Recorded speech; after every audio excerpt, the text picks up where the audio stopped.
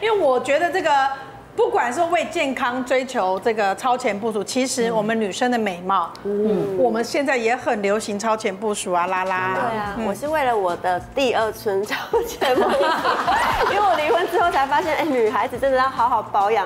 为了要遇见我第二春，我要先把我哎素颜的状态顾好，就想说哦，素颜有眉毛有嘴唇就很漂亮。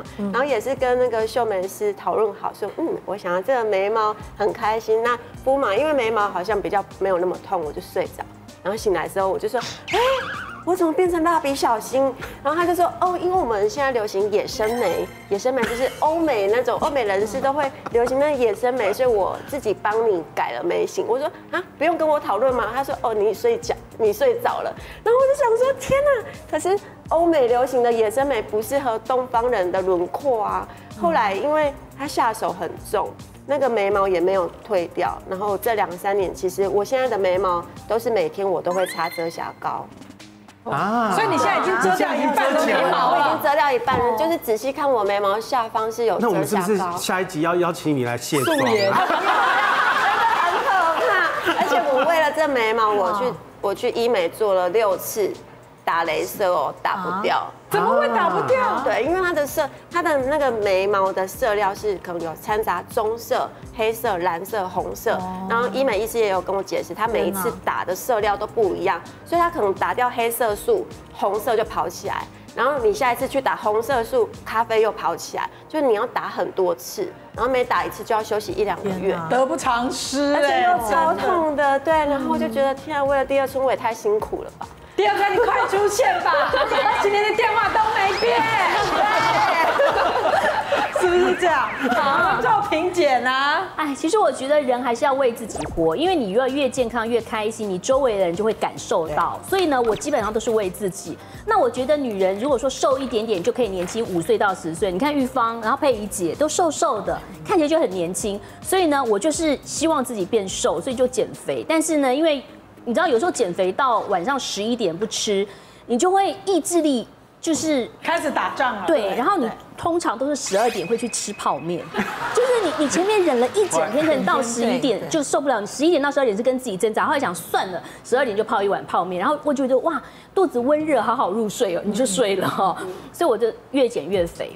那当然，除了这个减肥之外，我觉得我自己呢，呃，就是喜欢买一些东西，比如说买很贵的保养品啊，还有我曾经买过一年的蜂王乳，就是想说让你有维持皮肤漂亮，皮肤漂亮，我就买了一年的。然后我保养品也买了很多，可是因为这边要吃一点，那边要吃一点，再加上保养品还要擦，所以呢，我基本上都把它放在我的床前，因为我觉得我买到以后，感觉自己就变年轻了，可是都没有在吃，所以其实这一点也是很不好的，很糟糕的。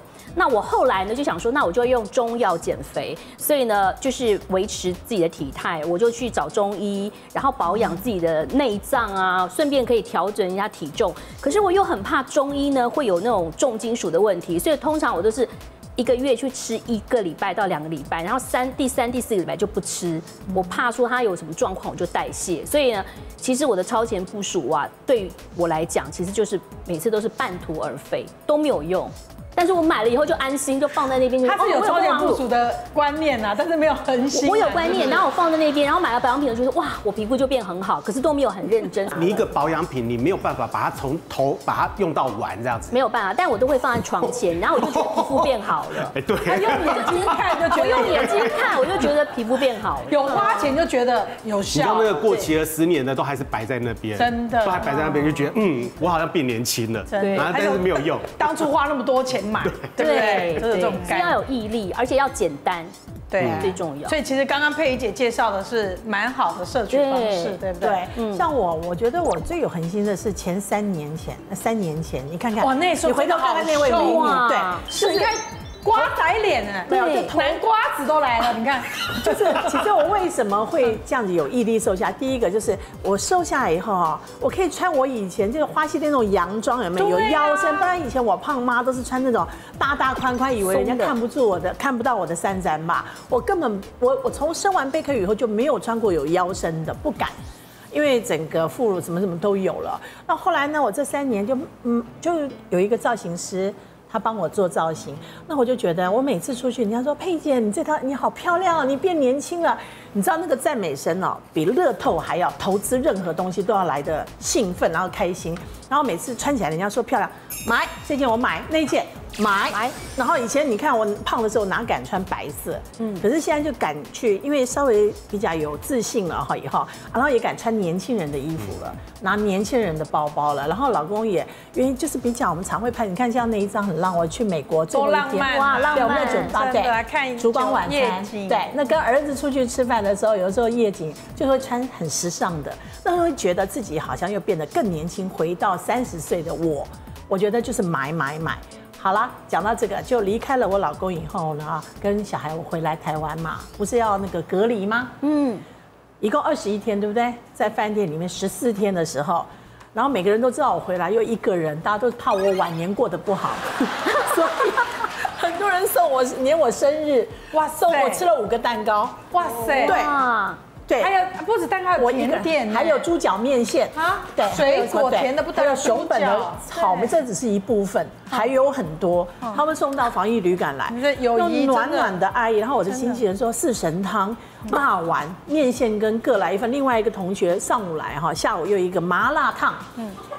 那个防疫旅馆没有微波炉，你知道？嗯，你不吃冷了就不好吃了。嗯，我就这样吃啊吃啊，可是那个房间就只有浴室走到沙发，沙发再走到浴室，就只能泡澡，然后动一动，我就看那个华灯初上，到底凶手是谁，在那边一直看，你知道吗？胖了好几公斤，回来呢又独自一个人过年，也是觉得。就算妈妈不在，老公没有，我还是要吃好一点，什么萝卜糕啦，什么年糕啦，什么糕什么糕啦，就吃吃一吃。最近又变胖一个 size 一两个 size，嗯，然后现在努力在在减，所以超前部署也没用。因为有用有用有用，有用拿拉拉来做比较，年轻人他如果要减肥，而且现在夏天要到，要穿比基尼的季节，他一定有独门配方。对有什么我们要学习一下。因为我觉得女生真的很容易懒得动，尤其是最近的剧都好好看哦。刚刚我录影前，玉芳姐有跟我们分享一个剧嘛，对。哦就是我最近有个戏要上，对。婚姻结业式，Netflix 有在看哦。我一定会追，然后每次一天一追，可能就十几个小时过去，你瘫在那一动也不动，然后肚子就突然变大，然后我女儿从侧侧面看我就说：“妈妈你还笑，你那个双下巴你还笑得出来，你上节目会被笑哦，你现在笑人家你上节目会被笑。”然后才发现哇。我的我的身材已经开始慢慢长肉了，而且夏天快到了，这些肉其实衣服布料都遮不住，而且我有时候都会想说，啊，拍一些比较呃布料比较少的照片，激励女性。可是如果我现在身材走中怎么办？后来我晚上就是晚餐的时候都会吃这个，这个是藤茶胶囊，它是有健字号唯一不形成体脂肪的那个藤茶胶可以拿。到健字号不容易耶。对，而且它是有添加唯一汉本的那个藤茶的这个成分。那像我们一般就是比较会听到儿茶素的成分，对那我听到。那个藤茶藤茶之后，我就觉得，哎，我应该要上网做个功课，才会知道说，我们毕竟我们要吃到身体里面的嘛对。那藤茶它是老祖宗流传下来的方子，那是名医呢李时珍曾经三度寻访哦，因为那个时候就是清光绪皇帝，他身体很虚弱，然后许多御医看过都束手无策，就觉得啊都没有办法。那后来他们的老师陈子赫先生就四处奔走，然后终于在他武陵的老家求得这个秘方，就是这个藤茶，然后带回来给皇帝饮用，就没想到哎身体好起来，因为他身体有促进代谢的功能，那促进代谢身体就会自然好起来嘛。而且我觉得体脂肪如果过多，其实不止说我们身上长肉，对于健康来讲也是一个很大的负担。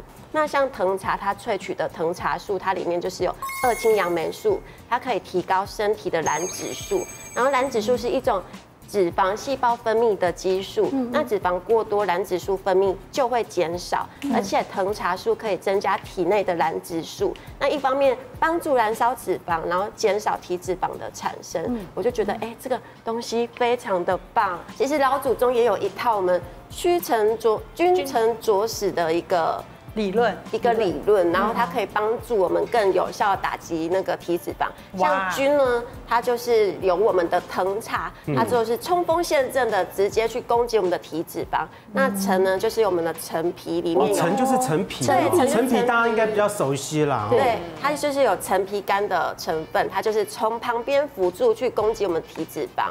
那左跟十就是有我们的山楂，那山楂呢，它就是可以加速我们的代谢，然后帮助我们把这个代谢代谢掉。所以有这个君臣佐使这个方子呢，可以帮助我们把体脂肪更完整的代谢掉。那我自己吃了，我是觉得，哎，吃了一个月。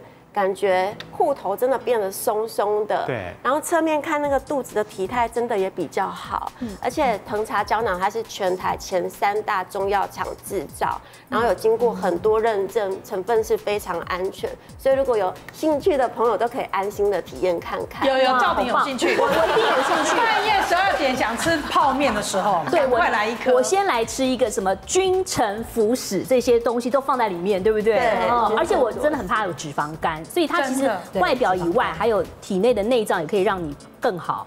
嗯，像我自己知道，我们喜欢吃水果的人，三酸甘油脂特别高，对。对不对？而且脂肪肝也特别严重真。的真的，这个我真的是在门诊上真的很常看到。其实很多女生，然后会觉得，哎，想要让我们身体健康啊，然后补充一些天然的食物，会觉得，哎，天然食物好像 OK 没有关系。可是其实，比如说，哎，每天都是摄取果汁好了，比如说，哎，一天一杯柳橙汁，可是你知道，但是大概一杯五百 CC 左右的柳橙汁啊，它可能就是要榨了大概八颗到十二颗的柳丁，也就是你每一天的水果量，你只要喝一杯柳橙汁，你一天的水果量就已经过量了哦。虽然水果蔬菜是好的，但是水果你太多，它还样一样有也是有果糖。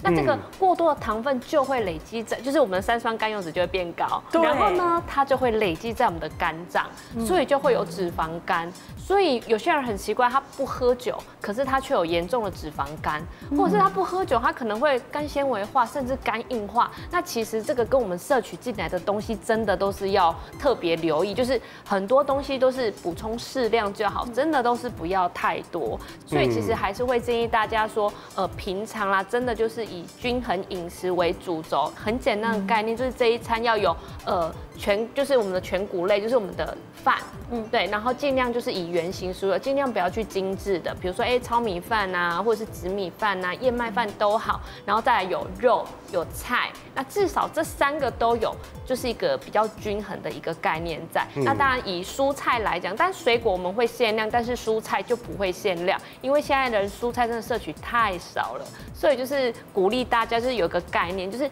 能够摄取蔬菜的时候就尽量多吃，就不会去限制摄取蔬菜的量。那同时如果可以再搭配一些运动，那很多人真的就是没有办法，真的就是得固定时间，然后固定呃一定要去做什么运动，那至少去把握一个原则，就是能走的时候我们就尽量走路，比如说三楼我们就不要坐电梯，我们就是爬楼梯，或者是哎到捷运站的距离，如果可以的话，就是都多走一点路，就是尽量不要去搭计程车啊，或者是呃做一些其他的交通工具，就是能走就是尽量去走，至少我们身体还是会有去做一个活动。所以饮食的话要均衡，然后呢要多运动，多运动多运动的话，一天的话最起码要走一万步以上。嗯那这样子的话呢，会稍微比较健康一点，然后不过说实在的，夏天快要到了哈，女生都要维持我们现在曼妙的身材。不能乱吃啊，半夜十二点不能吃泡真的不能吃面，对不对？吃一点藤茶。对，就好了。我等一下就去买。要补充我的那个记忆力了。打麻将，打电话给我，好不好？好，好，健康同学会，我们下次再见了，拜拜，谢谢谢同学谢。